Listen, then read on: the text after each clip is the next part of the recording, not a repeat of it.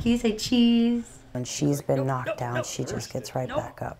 She's a fighter because everything she went through. Kora Jean's battle began when a routine prenatal ultrasound showed an issue with the baby's small intestine. We have sonographers who are trained in high risk pregnancies um, as well as trained in fetal echocardiogram.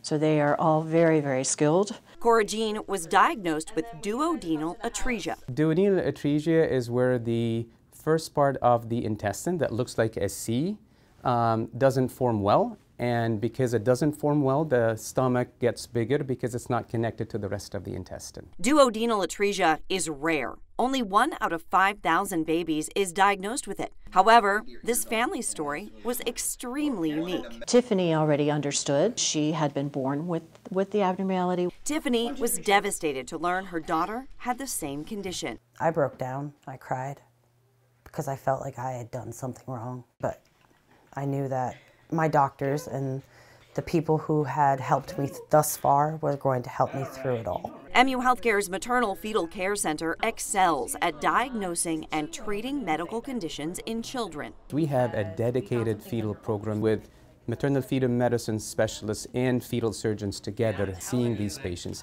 Tiffany and Kora Jean were treated like family by the MU Healthcare team. They treated my daughter, even though she wasn't here yet, as if she were a person. It wasn't just, you know, the, the baby or the fetus or whatever medical term is. They called her Kora.